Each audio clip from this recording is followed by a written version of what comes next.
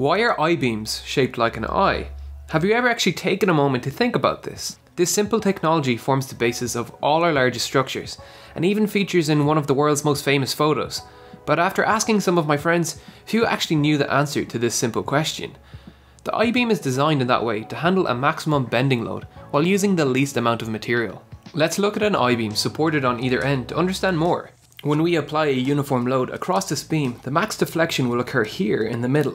We can calculate the deflection with this equation. This may look complicated, but it really isn't.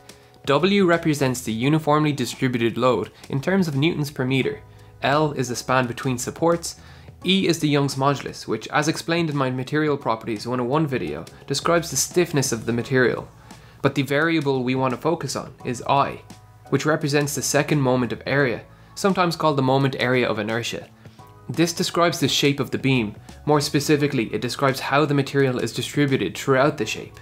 These two shapes have the same area, but that area is distributed very differently, and that is very important. A seesaw is a good analogy for this idea. When we place weight in the middle, it is very easy to lift. In fact, if we place it exactly over the middle, we aren't lifting it at all. But the further we move that weight to the end, the more difficult it is to lift, due to the increasing leverage. A very similar thing happens with beams and bending. Material at the center of the beam, which is called the neutral axis, does not resist bending, and the material furthest away from the center resists bending the most. It is called the neutral axis because if we place a bending load downward, the same way we did before, the beam will bend in a way that will cause the lower edge to be in max tension and the upper edge to be in max compression, and the values of stress gradually decrease to zero at the neutral axis, where there is neither tension or compression. Because the tension and compression is maximum the furthest from the neutral axis, we want to maximize the amount of material on the outside of the profile, where it is needed most. The more material further from the neutral axis, the larger the second moment of area will be. Applying that to the equation, we can see that a larger second moment of area would result in a smaller deflection.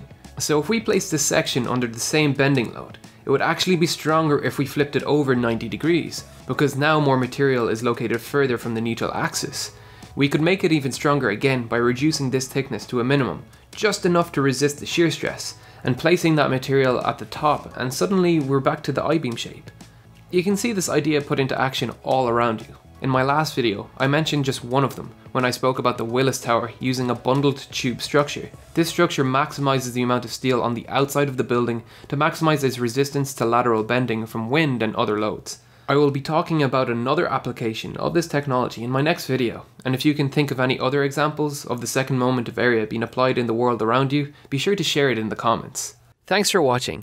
Like my last video, I wanted to experiment with a shorter format, and it's thanks to sponsors like the Great Courses Plus that allow me the freedom to do that. They have been a fantastic sponsor of this channel over the last few months.